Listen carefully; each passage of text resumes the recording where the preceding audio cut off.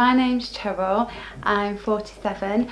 Um, I've now got a new revenge body after splitting up with my ex-husband. I enjoy going dancing with my daughters every week um, and just got a new life. Since losing the weight and maintaining it, the comments I've had of friends and family is just amazing. You know, they've said that I look 10 years younger. They just say they can't believe I was the same person when we look back at the pictures of me. I think then looking back at them, I look like I was 47 then and like now I just feel I'm in my 30s again. I just feel just so good about myself. It's just changed my life really.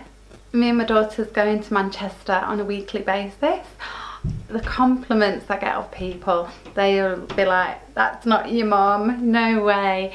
You know, it's just such a nice feeling that losing weight has just made me look and feel so much younger. Um, you know, but it's just other people's reactions against me is just wow.